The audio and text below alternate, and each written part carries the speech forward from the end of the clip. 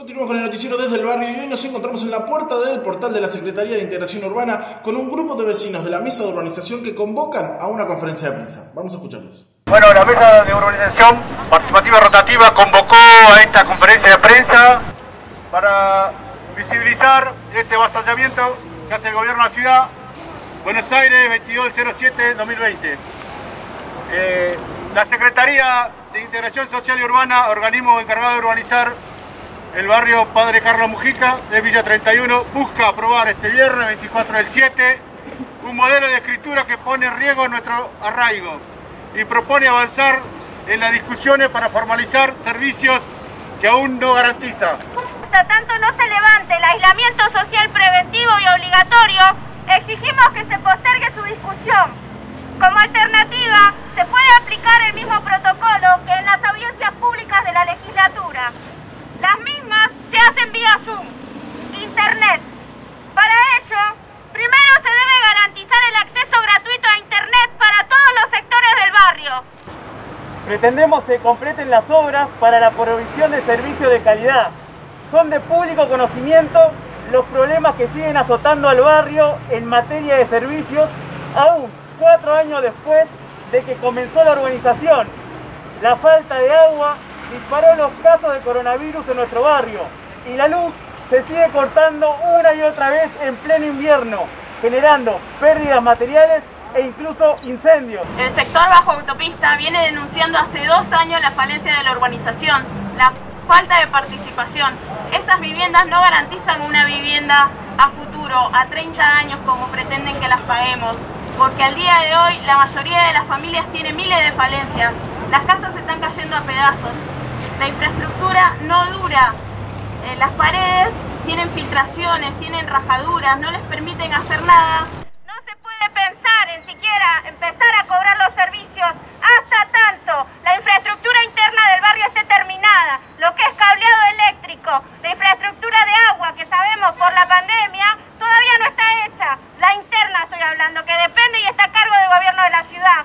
Hasta que eso no esté y que las empresas prestatarias que son Edenor, Edesur y AISA no den el aval de que la obra está bien hecha, no se puede pensar siquiera en empezar a cobrar ningún servicio, que por ley tiene que estar todo terminado para empezar a ver de qué manera van a empezar a cobrarle los servicios a los vecinos y las vecinas del barrio Padre Carlos Mujica.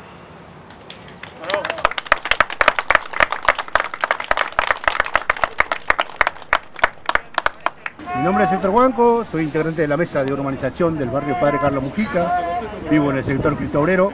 Bueno, hoy convocamos a esta conferencia de prensa. Uno de los temas puntuales es la escritura, el otro tema puntual es la formalización del servicio y la regulación dominial, que nosotros rechazamos porque la ley 6.129 dice bien claro que hay que, tiene que ser participativo, los vecinos tienen derecho a escuchar, tienen derecho a opinar, tienen derecho a expresarse Mi nombre es Silvana Olivera, soy integrante de la Mesa de Organización Participativa y Rotativa. Hoy en día nos encontramos acá porque la Secretaría de Integración Social y Urbana pretende llevar a cabo una sesión para tratar lo que es el tema de escrituras, lo que es el tema de la regularización nominal de infraestructura y servicios y demás.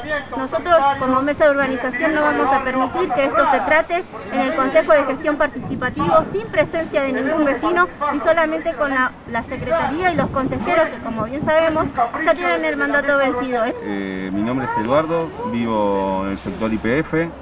Eh, bueno, como vecinos estamos indignados porque nuevamente la Secretaría sigue avanzando con una escritura cuando en realidad tendría que estar fijándose que hay muchas familias eh, y vecinos y vecinas que viven hacinados. Estamos en un momento donde quieren seguir discutiendo una escritura cuando la mayoría de las personas no tienen luz, cuando la mayoría de las personas eh, no, no están en una situación económica Eso es el tema puntual, por eso la conferencia de prensa, por eso hoy estamos acá como mesa, vamos a seguir haciendo conferencia de prensa, vamos a seguir difundiendo el barrio. Hay, hay tantos problemas estructurales y cotidianos en el barrio que quieren seguir eh, avanzando en problemas generales que tienen que ser el final de una urbanización real. Mientras los vecinos y vecinas sigan hacinados, mientras los vecinos y vecinas no puedan pagar el alquiler, mientras no tengan luz, no tengan agua, no se puede hablar de escritura y de regulación de servicios.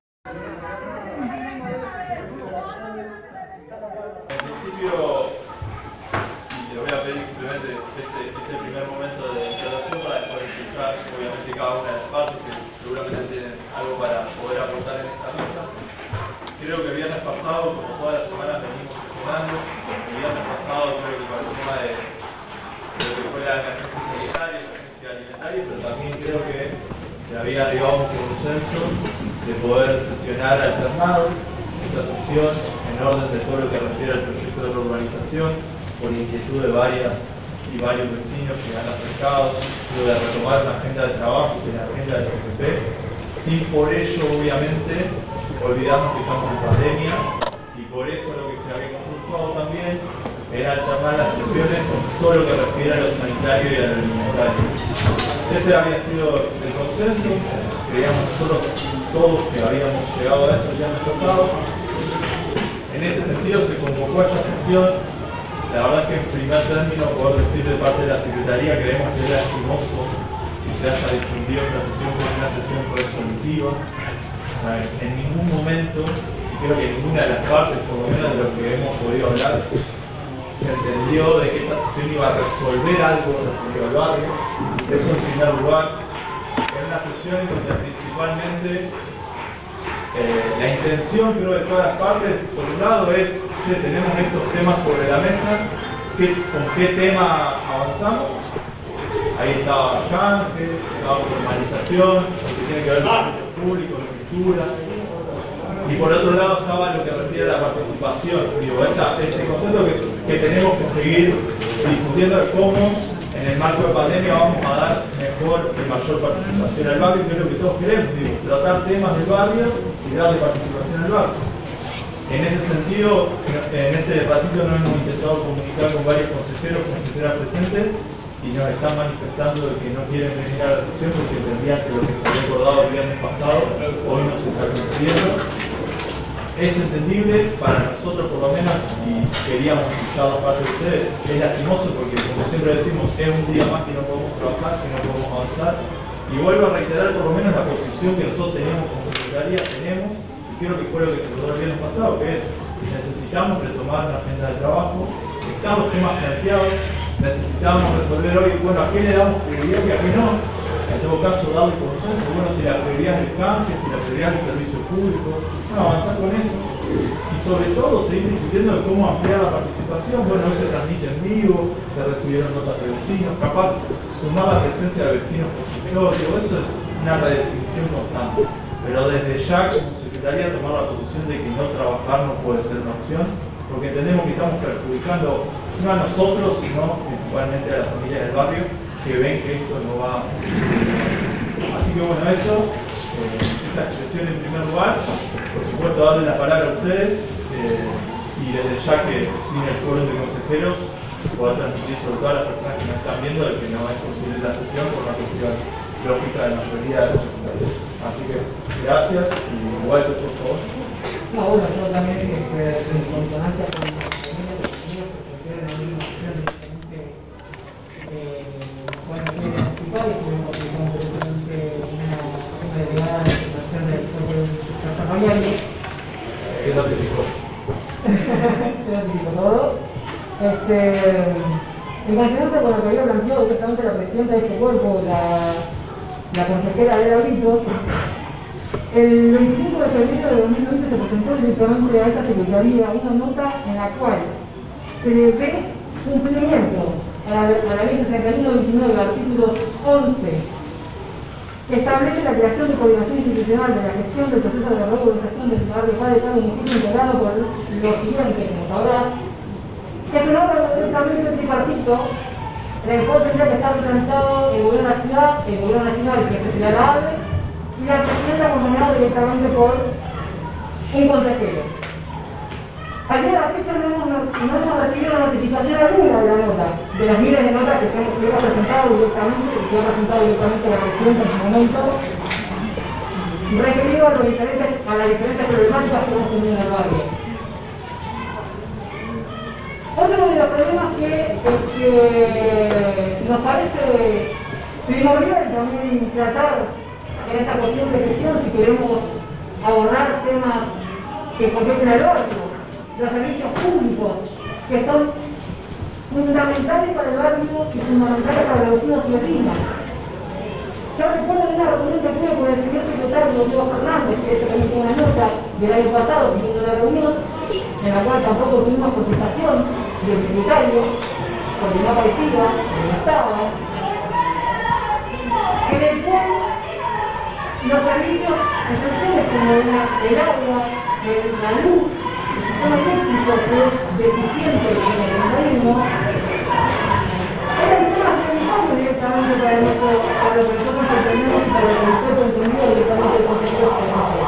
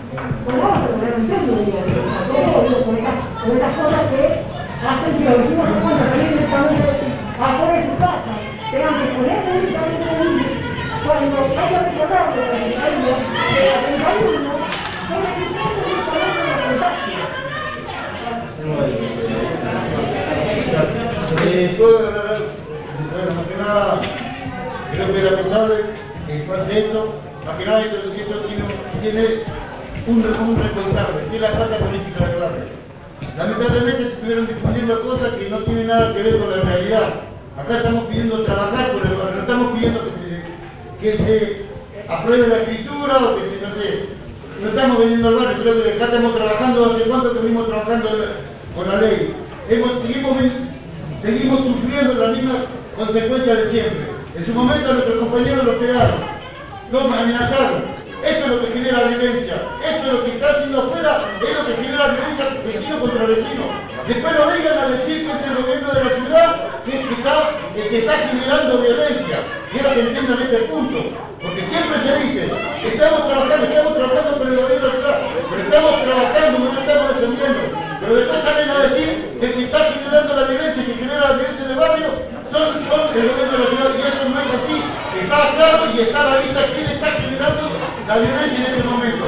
Como, dijo el compañero, estamos tratando de que se empiecen a trabajar las infraestructuras, infraestructura, el agua. A ver, eso se tiene que discutir acá.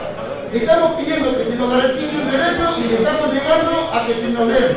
Eso es lo que está pasando. Después, a ver, en su momento el gobierno nacional hizo un decreto dijo él, lo que es eh, el Consejo Tripartito. También queremos respuestas sobre eso, queremos respuestas sobre eso.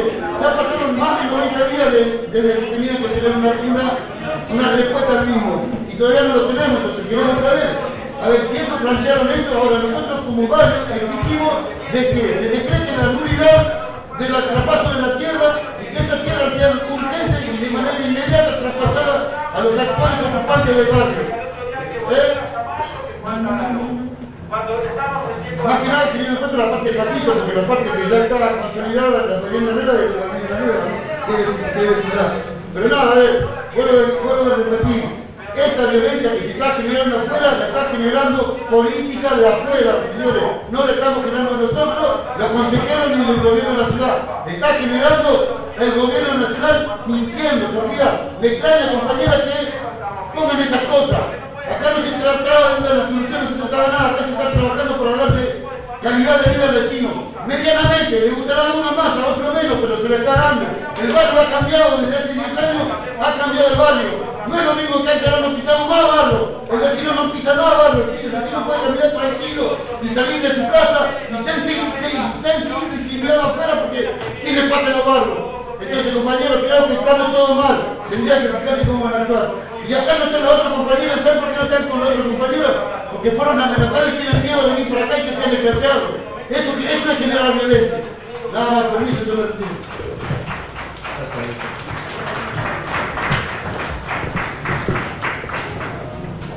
Pida la palabra.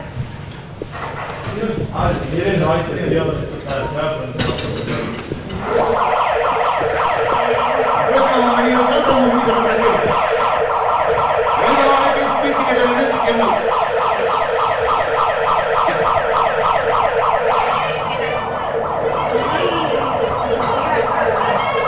Como no hay sesión, lo que quería manifestar es que apoyo el pedido de la mesa de organización que pidió por nota resuelto después de su presidente. ¿Sirve ese micrófono? Eh, bueno, para, para expresar la Tribunal Comunera al frente de todos, integrantes, dentro de los 25 integrantes del CGP, aparte de lo que tiene que ver con la figura de moderación, que la Secretaría es tiene, nosotros somos 25 integrantes del CGP, el temario se ha consensuado como corresponde por los 25 integrantes del CGP, que son los 10 consejeros a todas las instituciones, solicitar que para la próxima reunión, como lo expresó la mesa organización por nota, se invite, como también está contemplado por el, por el, reglamento del CGP, se invite a la mesa organización como institución del barrio eh, a participar y a opinar, que es una institución histórica que ha, ha sido parte, de hecho, de la ley 3343, la primera ley que se aprobó en el de la organización. Respecto a los puntos, eh, solicito a la Secretaría que por favor atienda las opiniones de todos los integrantes del CGP para evitar el autoritarismo en las decisiones del primario que se, que se toman en la reunión. Entiendo que tanto las que tengan escrituras como servicio público,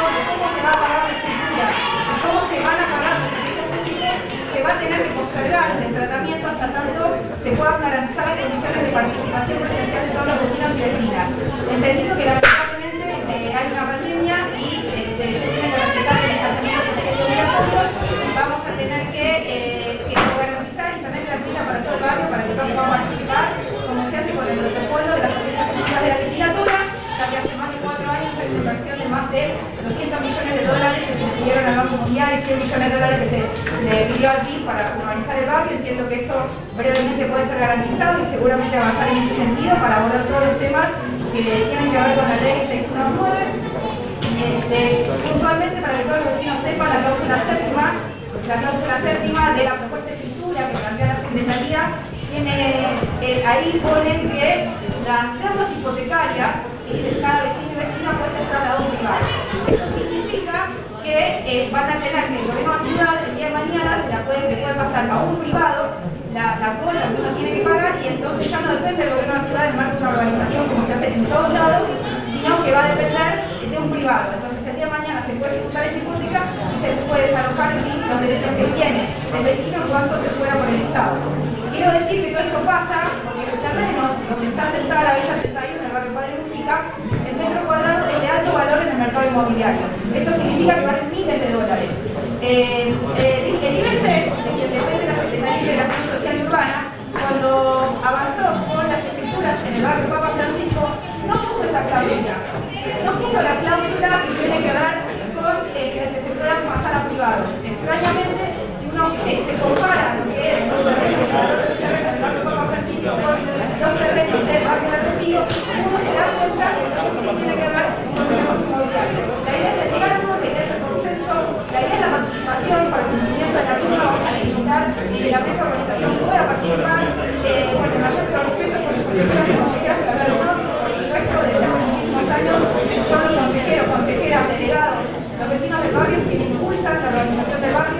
Lamentablemente eh, nos encontramos con una secretaría que a pesar no fue refrendada en las urnas, porque no lo votó ni el 30% del barrio, sigue siendo el mismo para que se sufre, respetamos las instituciones, pero pedimos que por favor el CGP sea respetado, escuchado y que el temario se aborde en esta reunión.